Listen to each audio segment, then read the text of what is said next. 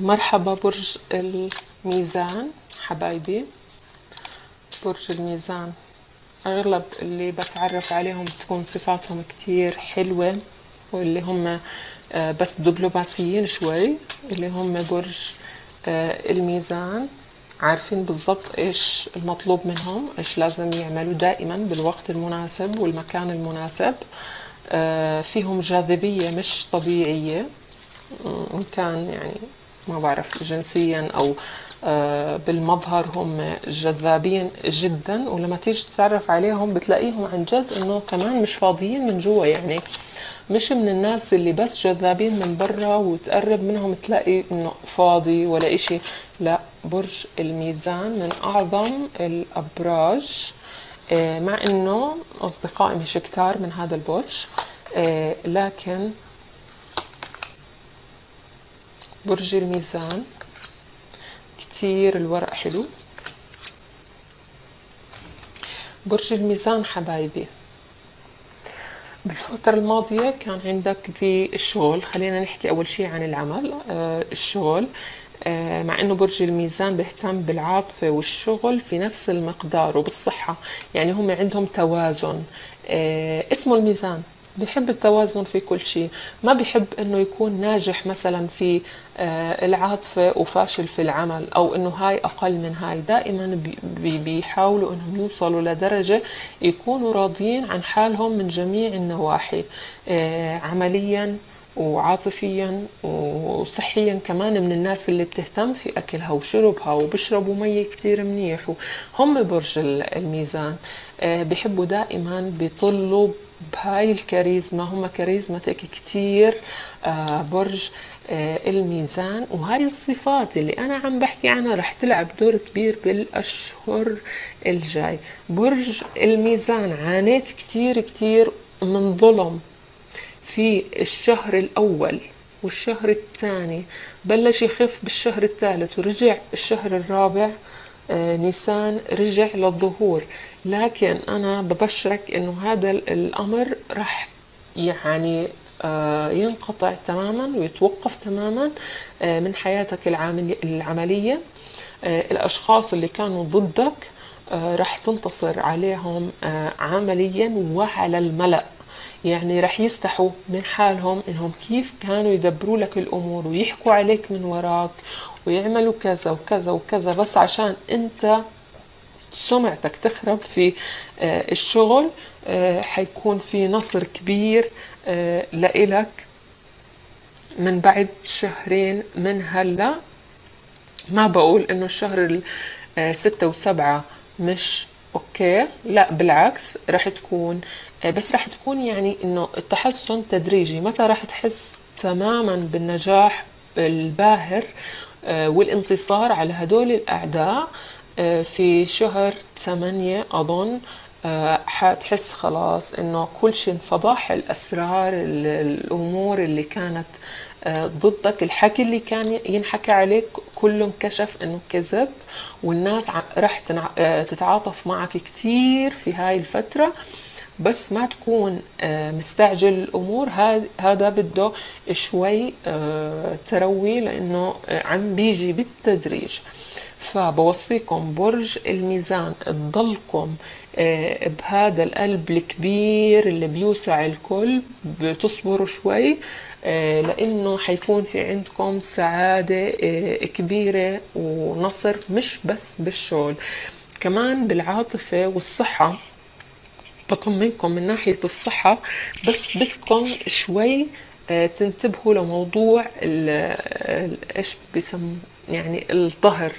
آه إنه ظهركم يمكن يوجعكم ما بعرف من كرسي الشغل من آه، كتر الشغل اللي بيكون آه عليكم. وعلى فكرة حيكون في ضغط شغل كبير بشهر ستة لكن آه النتائج حتشوفها بعد هيك.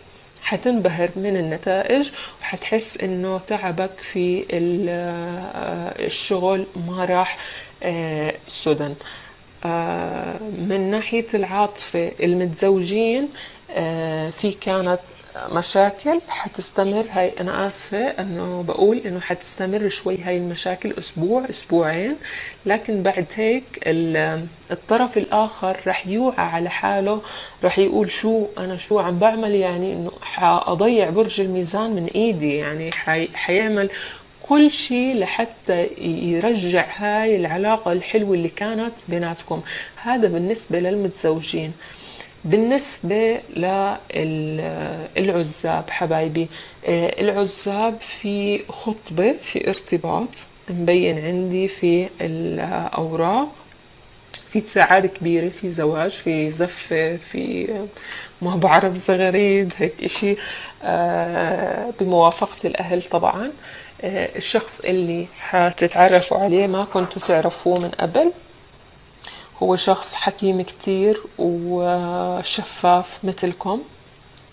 شخص جذاب كتير. آه، لبسه أنيق جدا. آه، جميل من الخارج ومن الداخل. آه، ما بدي أقولكم إنه يعني مية بالمية هو صافي صافي أو قلبه صافي. هو أول ما حيتعرف عليكم حيحاول إنه يعني مجرد صداقة وكذا وأطلع وأنزل. بس حيلاقيكم هو الشخص المناسب اللي هو عم بدور عليه لفترة آه، طويلة. لذلك آه، يعني بدي الحلوان يا برج الميزان. أنا بدي حلوان ما إلي علاقة لأنه في زواج. على فكرة برج الميزان آه، من الناس اللي بيحبوا يعني بعد الزواج يكون في عيلة كبيرة يكون في أولاد ولدين ثلاثة أربعة ما بعرف بيكون في عيلة ويكون لما هم بيحبوا هاي الأجواء كتير كتير. ما بيحبوا يكونوا وحيدين أبدا. آه واللي كان معذبهم بالفترة الماضية إنه كانوا شبه وحيدين. مش وحيدين كان في معك شخص أو اثنين في الشغل. آه لكن آه اللي زاد الطين بل الفترة الماضية إنه كان في عندك كمان. يعني بالنسبة للعاطفة بالنسبة للشغل التنين يعني هي حتى الكروت فوق بعض التنين كانوا مش أوكي بالنسبة إلك. وعلى فكرة أنت كنت شاكك في الشريك آه، شكك على فكرة آه، مش مزبوط. هو مجرد كان في فتور بالعلاقة لكن ما كان جرح ابدا. هذا أنت بتهيأ لك لأنه مبين عندي بالآخر إنه في سعادة آه، كبيرة. في شخص حلو آه، حيظهر في حياتك. شخص نظيف كتير من جوا مناسب لإلك رزين. خلينا نقول برزانة برج الميزان. آه، بس بدي إياك يا برج الميزان تتفائل شوي وما تستعجل الأمور. أنا بعرف إنك صبور كتير على آه، يعني نجاحاتك. أنت من الناس اللي يعني بيطبخوا الطبخة وبيطولوا يعني بالطبخة علشان بالأخير آه، تكون النتيجة كتير حلوة. وبحب هاي الصفة طبعا في برج الميزان إنه من الناس هم اللي بيشتغلوا كتير على هدفهم.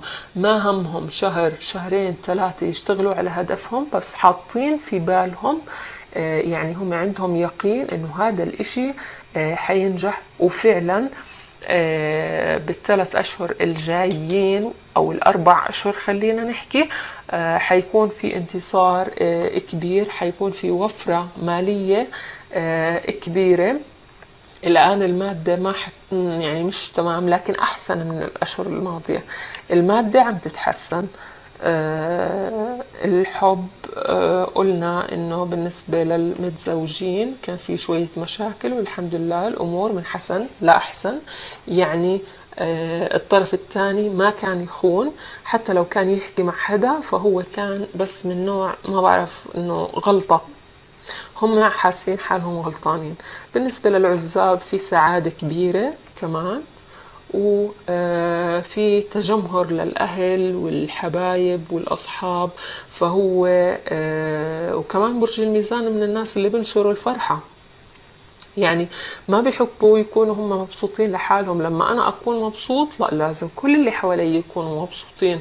ولازم إذا أنا كان معي فلوس لازم كل اللي حوالي كمان يصير معاهم فلوس وأساعدهم.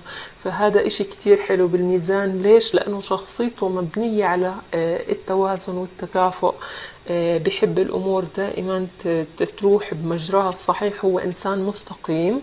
وأنا كتير ببارك لك على الفترة الجاي اللي كتير حلوة وجود لك لبرج الميزان.